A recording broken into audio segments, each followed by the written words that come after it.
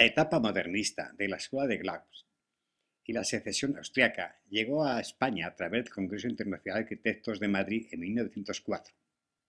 También mediante las publicaciones sobre la exposición de la secesión en 1900 y la Exposición Internacional de Artes Decorativas Modernas de Turín en 1902. Hasta Corriente se integró en Valencia de la mano de Demetrio Ribes y Vicente Ferrer. La influencia de estilo modernista queda demostrada de forma evidente en la composición de la Casa Ferrer, que vamos a visitar.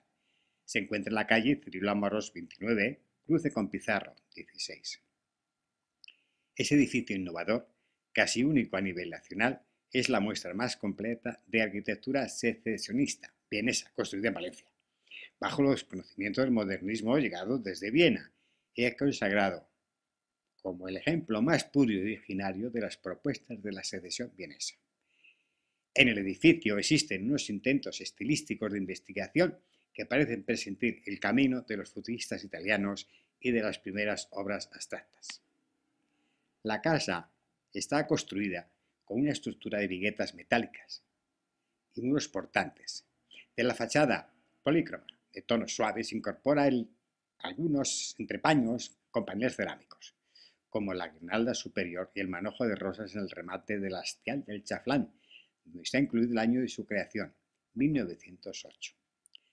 Cada fachada tiene esquema compositivo propio y diferenciado, articulándose mediante la ruptura de la composición de las esquinas con cuerpos muy planos y verticales, adornado con elementos pétreos y cerámicos.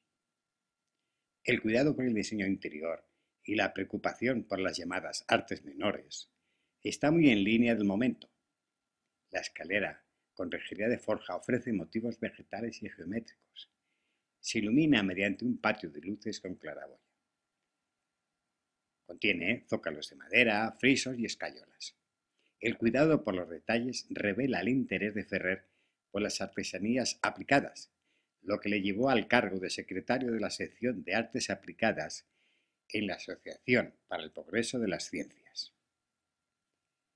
El arquitecto Vicente Ferrer Pérez proyectó este edificio por encargo de su padre, para todos los hijos.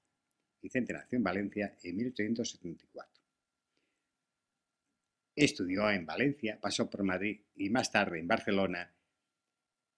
Se tituló en Arquitectura y Bellas Artes.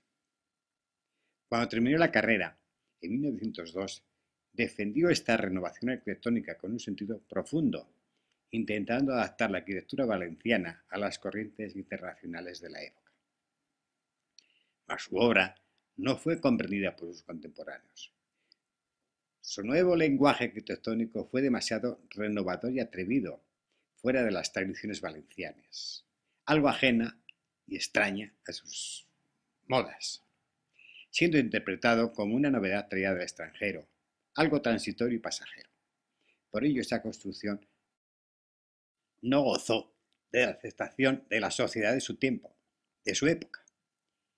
Vicente era un hombre de temperamento brusco y poco moldeable colérico y retraído, y que careció del suficiente sentido práctico para poder amoldarse a unos gustos distintos de los suyos.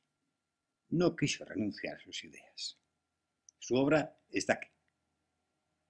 Nosotros la tenemos que juzgar.